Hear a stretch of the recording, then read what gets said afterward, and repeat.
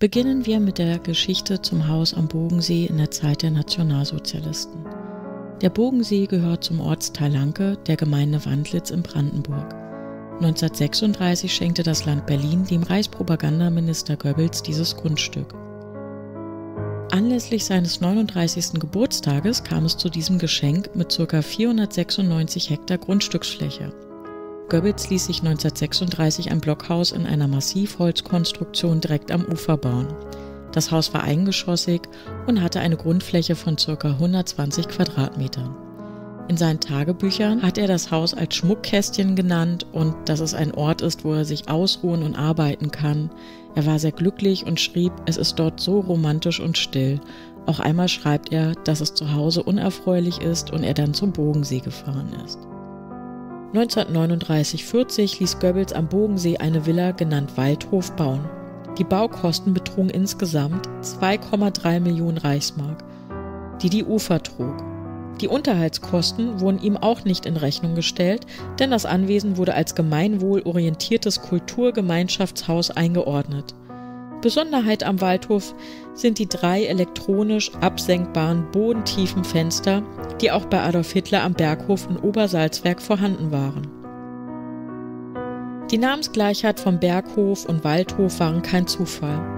Repräsentativ gab es 30 Privaträume, 40 Dienstzimmer, einen Filmsaal. Am Waldhof wurden viele Reden von Goebbels als Reichspropagandaminister geschrieben, in denen er zu Krieg und Kampf aufrief. Dort am Bogensee wurde die damalige Vorzeigefamilie, Eheleute Josef und Magda Goebbels und ihre sechs Kinder in den Medien präsentiert. Der Waldhof hatte ein Hauptgebäude und ein Wirtschaftsgebäude. Der Waldhof war der Zweitwohn- und Dienstsitz und war auch für politische Empfänge und Veranstaltungen bekannt. Zara Leander, Marika Röck, Heinz Rühmann und viele weitere bekannte Personen waren hier zu Gast.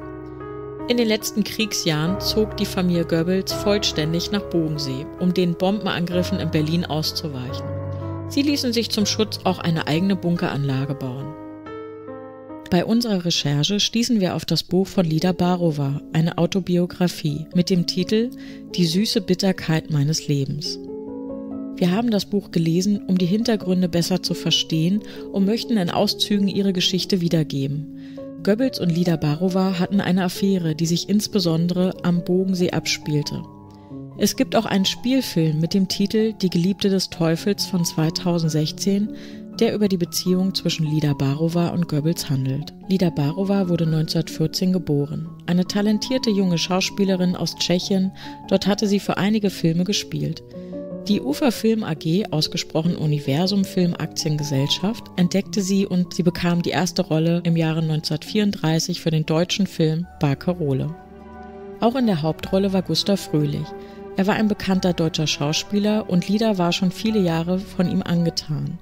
Er war mit einer ungarischen Jüdin verheiratet. Sie fühlte sich aber in Deutschland nicht mehr sicher, wegen dem Antisemitismus und versuchte mit ihrem Mann ins Exil nach Ungarn zu ziehen. Da er aber die Sprache nicht konnte und ihm seine Karriere wichtiger war, zog sie nach Ungarn und er blieb in Deutschland. Es stand also dem Liebesglück von Lida und Gustav nichts im Wege, bis sie auf den Propagandaminister Goebbels traf. Goebbels hatte damals den Ruf weg, der Bock vom Babelsberg zu sein – die Filmstudios in Potsdam waren wie heute noch in Babelsberg und ihm wurden sehr viele Affären zur Schauspielerin nachgesagt. Davor wurde aber Adolf Hitler auf Lida Barova beim Filmset aufmerksam. Er war von ihr sehr beeindruckt und lud sie kurze Zeit später in die Reichskanzlei zum Tee ein. Dort erzählte er ihr unter vier Augen, dass sie ihn an jemanden erinnerte und dieses Bild bei ihm auf dem Nachttisch stünde. Sie war sehr unsicher bei diesem Besuch und ging auch bald heim. Zu Hause bei Gustav Fröhlich berichtete sie ihm von allem. Gustav war sehr eifersüchtig und vermutete, dass es um die Erinnerung an seine damalige Liebesbeziehung ging. Es ging um Hitlers Nichte, Angela Raubal. Sie war die Tochter von seiner Halbschwester. Sie hatte sich wohl mit 23 Jahren mit der Pistole von Adolf Hitler ins Herz geschossen und starb. Lida sollte Hitler noch einmal zum Tee besuchen. Gustav, den sie Gustl nannte, hatte ihr aber aufgetragen, ihn alle 15 Minuten anzurufen. Hitler fand diese Anrufe störend, aber ließ sie gewähren. Gustav Fröhlich kaufte 1936 eine Villa in Schwanwerder. Schwanwerder ist eine Insel im Berliner Ortsteil Nikolassee und ein gefragtes Wohngebiet. Dort sind fast nur Villen und Einfamilienhäuser. Lida Barova verbrachte sehr viel Zeit dort, insbesondere zur Zeit der Olympischen Spiele, die 1936 in Berlin stattfanden. Als Goebbels mit seinen zwei kleinen Töchtern spazieren ging, traf er Lida Barova. Sie unterhielten sich und er berichtete, dass er gerade das Nachbargrundstück als Sommersitz erworben hatte und er sich gerne die Villa von Gustav Fröhlich anschauen möchte. Gustav Fröhlich war erfreut über den Besuch des Ministers und den Plausch. Lida berichtete in ihrem Buch, dass sie durch die Stimme von Goebbels das erste Mal ein leichtes Kribbeln im Rücken verspürte. Gustav Fröhlich lobte wohl später die guten Umgangsformen von Goebbels und Goebbels lud sie auch auf seine Yacht ein. Laut Lieder mochte Gustav aber die nationalsozialistischen Machthaber nicht und er wollte diese vielen Einladungen auch nicht. Insbesondere war es ihm zuwider, wie sich die Nazis mit Schauspielerinnen von Film und Theater umgaben, um ihr Leben bunter zu gestalten. Die Beziehung zwischen Lida und Gustav war nicht so harmonisch, wie es nach außen hin wirkte. In dem Buch schrieb sie, dass er sie geschlagen habe. Gustav sagte regelmäßig zu ihr, sie sei keine gute Schauspielerin und sollte lieber kochen und den Haushalt führen. Eines Tages gestand Goebbels seine Gefühle für Lida. Sie wollte darüber erst gar nichts wissen, weil sie damit nicht umzugehen wusste. Goebbels hielt in der damaligen Zeit als Propagandaminister einige wichtige Reden. Er sagte ihr, dass er ihr bei einer seiner Reden ein Zeichen geben möchte. Und zwar wollte er ihr zeigen, dass er an sie dachte, wenn er sich mit einem Tuch über den Mund wischte. Gustav wurde mittlerweile misstrauisch, da Goebbels auch Lieder privat anrief und er es mitbekam. Goebbels lud Lida schließlich zu seinem Blockhaus in Lanke ein. Er beschrieb es als sehr hübsch und wollte ihr was auf seinem Flügel vorspielen. Sie beschrieb ihre erste Fahrt dorthin. Sie schilderte, dass es sich um einen kleinen Ort Lanke handelte und ungefähr 20 Kilometer nordöstlich von Berlin gelegen ist. Über einen kleinen Weg fuhr man zum Anwesen und er war mit einem Schlagbaum gesichert. Weiter ging es über einen langen, schmalen Weg durch einen dichten Wald und dann schließlich durch ein großes Tor zum riesigen eingezäunten Grundstück. Ein Diener war im Blockhaus am kleinen Waldsee auch vor Ort. Das Blockhaus hatte eine große Terrasse. Dort befand sich wohl ein großer Raum mit offenen Kamin, einem Flügel und einer Essecke. Es gab noch eine Küche, ein Schlaf- und ein Arbeitszimmer. Sie bewunderte, wie Goebbels ihr vorspielte. Sie erzählte, dass er ein unterhaltsamer Plauderer war und sehr viel lachte. Sie verbrachten dort viele harmonische Stunden. Lida erzählte, dass es auch einen eigenen Schießstand gab und sie dort übte, mit Pfeil und Bogen zu schießen und dass sie manchmal mit dem Ruderboot auf dem kleinen See rausfuhren. Manchmal saßen sie auch dort auf einer Bank, wo ein Futtertrog stand und warteten auf die Rehe, die ohne Scheu das Futter fraßen. Das Blockhaus steht heute nicht mehr. Es kam 2015 zu einem Brandschaden und wurde dann 2019 abgerissen. Nach Lidas Aussage unterhielten sie sich wohl nur wenig über politische Fragen. Sie sagt, sie mochte sich damals noch kein präzises Urteil über Deutschland bilden. Die damalige Presse hat auch ein paar Zahlen in Zeitschriften verfasst und Lida wurde als Freundin des Propagandaministers genannt. Es gab Gerüchte, dass Gustav Fröhlich Josef Goebbels aus Eifersucht eine Ohrfeige gegeben haben soll. So war es nicht ganz, doch Gustav schrie Goebbels aus Eifersucht an und trennte sich dann von Lida. Sie wendete sich nun Goebbels voll zu und vertraute ihm. Er gestand ihr seine große Liebe. Sie sei die Frau, die er so liebt, wie noch keine andere. Lida war zu diesem Zeitpunkt 22 Jahre alt, auch wenn sie manchmal daran dachte, dass er Kinder hatte. Sie verbrachten sehr viel Zeit miteinander. Im Theater, in der Oper, bei Spazierfahrten oder auch in Lanke am Bogensee. Sie beschreibt Goebbels als besonders geistreich und sarkastisch und er sei wohl der intellektuellste bei den führenden Nazis gewesen. Er sagte zu ihr, er würde sich umbringen, wenn jemand die beiden auseinanderbringen wollte. Er nannte sie immer Liduschka und wollte mit ihr verschwinden. Er fragte sie, ob sie mit ihm nach Japan kommen würde. Er wollte seinen Ministerposten hinschmeißen und so die Scheidung von seiner Ehefrau Magda durchbekommen. Goebbels galt mit seiner Ehefrau und den blonden Kindern als Vorzeigefamilie in Deutschland. Lida hatte Chancen, nach Hollywood als Schauspielerin zu gehen. Sie schlug diese aber aus und bereute es bis ins späte Alter. Lida schreibt, dass Goebbels sich geändert habe. Er war nicht mehr so charmant zu ihr. Der Rivale Gustav war ja ausgeschaltet. Er befahl ihr regelmäßig, zu ihm nach Lanke zu fahren. Sie war müde, hatte viele Termine für Film- und Fotoarbeiten. Im Winter, im Schnee war die Fahrt anstrengend, doch das interessierte ihn nicht. Das müsste so 1937 gewesen sein. Im Sommer 38 gab sie Goebbels vor anderen Anwesenden wie beispielsweise Max Schmeling, ein deutscher Schwergewichtsboxer, Widerworte. Es ging um die Tschechoslowakei, die sich dem Deutschen Reich anschließen sollte.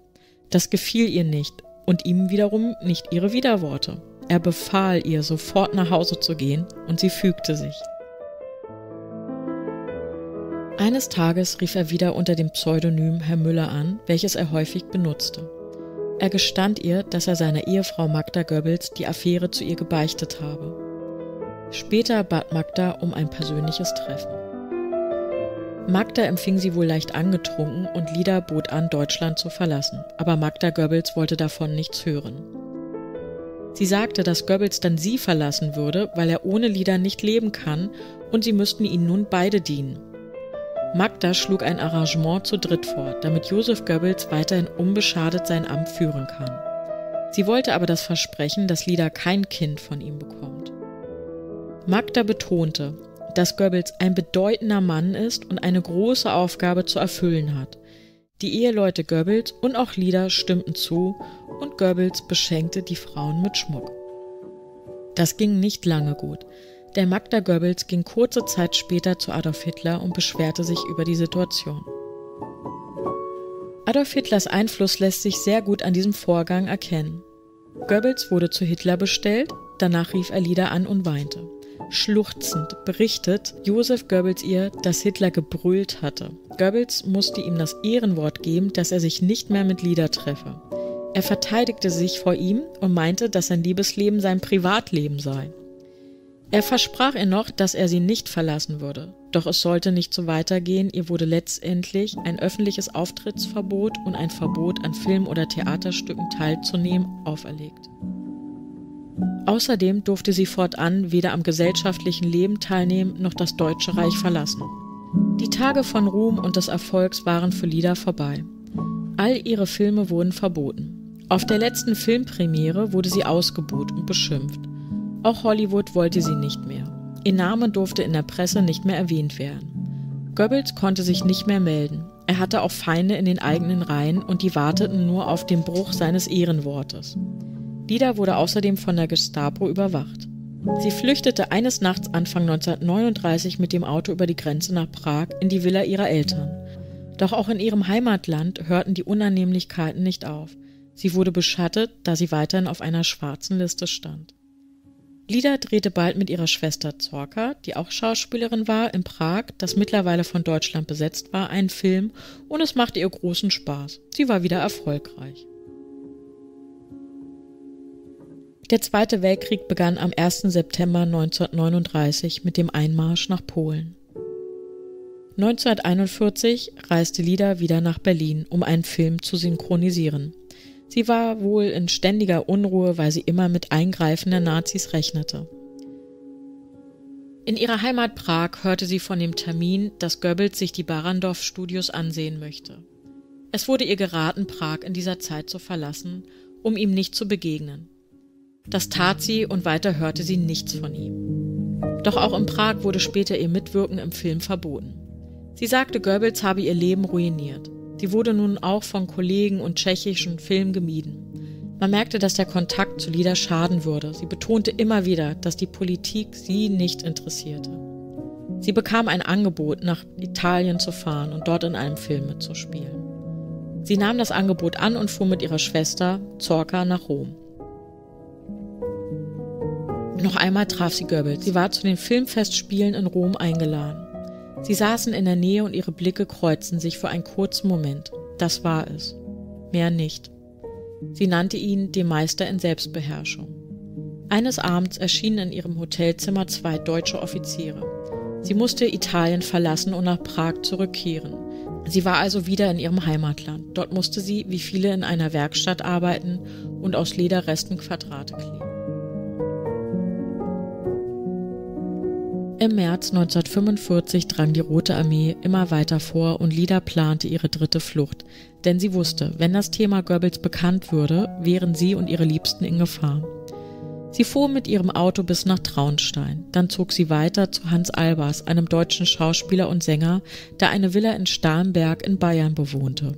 Und dort wurde sie von amerikanischen Offizieren zum Verhör abgeholt. Dort war ein Major, der sie sehr gut behandelte und in einem Gespräch alles erfahren wollte. Er kam auf das Thema, dass sie zwei Jahre Goebbels Geliebte war. Er fragte sie, wie sie das konnte, ob sie nicht wisse, wie die Juden behandelt wurden. Sie verteidigte sich, da sie keine Ahnung hatte von den Konzentrationslagern, dass sie nur bis 1938 in Deutschland war, denn diese kam erst später. Weitere Tage später wurde sie ins Gefängnis gebracht nach Stadelheim in München. Keiner redete mit ihr und sie wusste nicht, wie es weitergehen wird. Sie wurde wieder zum Major gebracht und dort erfuhr sie, dass Hitler und Goebbels mit seiner Familie Selbstmord begangen haben. Sie kam nach einigen Verhören in ihre Heimat zurück und wurde inhaftiert. Sie hatte zu viel mit Berlin zu tun gehabt, mit deutschen Filmen und mit Goebbels. Ihre Mutter kam sie besuchen. Lidas Vater war erkrankt und sein Fuß musste amputiert werden. Im Herbst 45 wurde auch ihre Mutter verhört. Lida sollte Schmuck versteckt haben. Die Mutter bekam durch die Aufregung beim Verhör einen Herzinfarkt und starb daran. Weiter im Gefängnis erfuhr sie, dass ihre Schwester Zorka sich das Leben nahm. Lida erfuhr, dass ihre Schwester Zorka nicht mehr als Schauspielerin arbeiten durfte wegen Lidas Vergangenheit. Ab dem Zeitpunkt verlor Zorka den Sinn des Lebens. Zorka sprang aus dem Fenster und erlag ihren Verletzungen. Lida war insgesamt ein halbes Jahr in amerikanischer Gefangenschaft und 18 Monate im Prager Gefängnis. Lida hat später zweimal geheiratet und ist 2000 in Österreich verstorben. Wie es heute um die Villa Bogensee steht und die Geschichte zur FDJ Kaderschmiede hört ihr im Video Teil 2 Bogensee. Wir wünschen euch alles Gute und bitte den Kanal Kranicher abonnieren, liken und fleißig Kommentare schreiben.